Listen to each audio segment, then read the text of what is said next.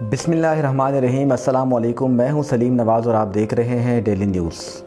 وزیر اعظم پاکستان عمران خان نے پاکستان کا نیا نقشہ جاری کر دیا۔ ویسے یہ بات اس سے پہلے کبھی بھی کسی نیوز چینل، کسی اخبار میں آپ کو کہیں پر بھی نہیں ملی ہوگی۔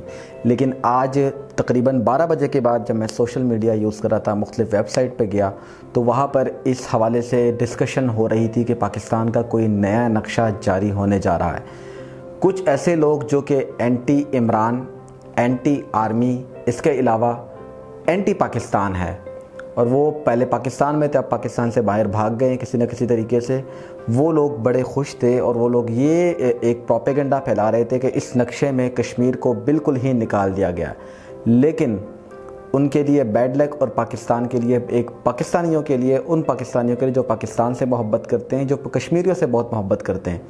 ان لوگوں کے لیے ایک اچھی خبر کہ اس نقشے میں کشمیر کو اور اس کے علاوہ سیاچین کو باقاعدہ پاکستان کا حصہ بنایا گیا ہے۔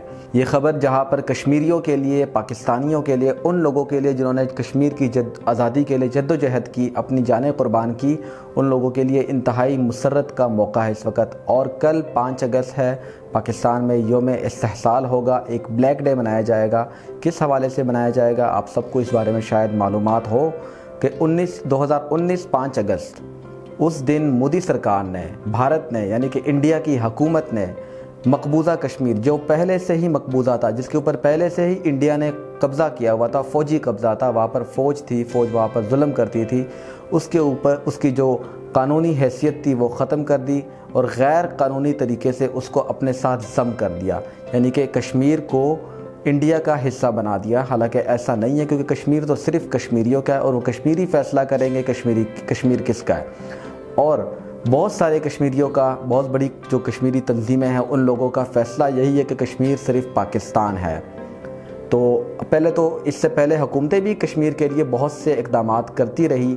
اور آپ کو پتہ ہے مولانا فضل الرحمان نے کیا کچھ کیا کشمیر کے لیے، اور جب وہ کشمیر کی جو کمیٹی کی چیئرمین شپ چھوڑنے لگے جب حکومت ختم ہونے لگی، ان سے پوچھا گیا تو وہ اس وقت ان کا کیا بیہیویئر تھا۔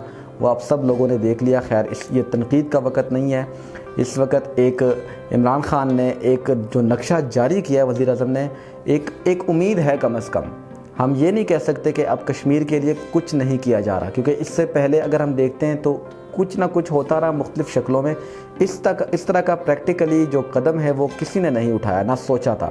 اور لیکن شاید یہ تبدیلی سرکار نے واقعی تبدیلی لا چکی ہے۔ آپ ایگری کر سکتے ہیں، نہیں بھی کر سکتے، اختلاف کر سکتے ہیں، لیکن اس معاملے کے اوپر اپوزیشن بھی تائید کر رہی ہے یعنی کہ ان کے ساتھ متفق ہے گورنمنٹ کے ساتھ، اور انہوں نے تائید کیا کہ واقعی یہ پاکستان کا نقشہ ہونا چاہیے۔ اب اللہ کرے کہ سچ میں، حقیقت میں ایسا ہو جائے کہ کشمیر جو ہے وہ پاکستان کا حصہ بن جائے، کیونکہ بہتر سال سے جو وہاں پر ظلم و ستم کیا جا رہا ہے وہ کسی سے ڈھکا چھپا نہیں ہے۔ اب یہ نقشہ فردر اقوام متحدہ میں پیش کیا جائے گا۔ اس حوالے سے وزیر اعظم عمران خان کا کہنا تھا کہ کشمیر پاکستان کا حصہ بنے گا۔ یہ نقشہ پہلا قدم ہے۔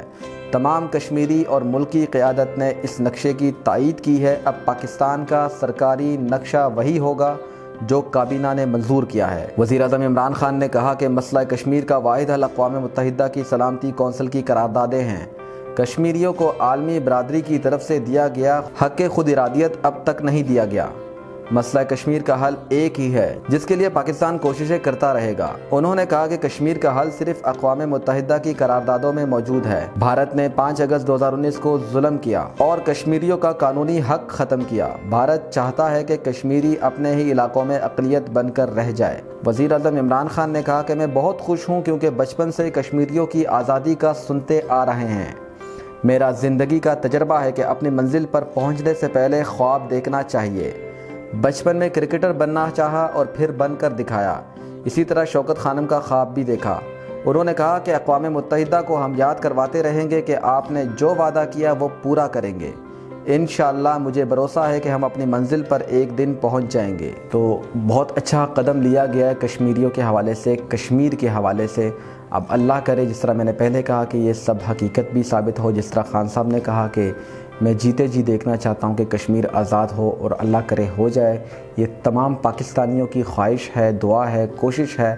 اس کے علاوہ کشمیریوں کی جو اپنی جد و جہد ہے، اس کو آپ کدھر اور کیسے بیان کریں کہ میرے پاس شاید اس طرح کے الفاظ نہ ہوں اور اس کے علاوہ عالم اسلام کے اندر جو لوگ ہیں، ان لوگوں کی بھی خواہش ہے کہ کشمیر جلد سے جلد آزاد ہو جائے اور انشاءاللہ ایک دن آزاد ہوگا۔ پاکستان زندہ باد، کشمیر پائندہ باد، کشمیر بنے گا پاکستان۔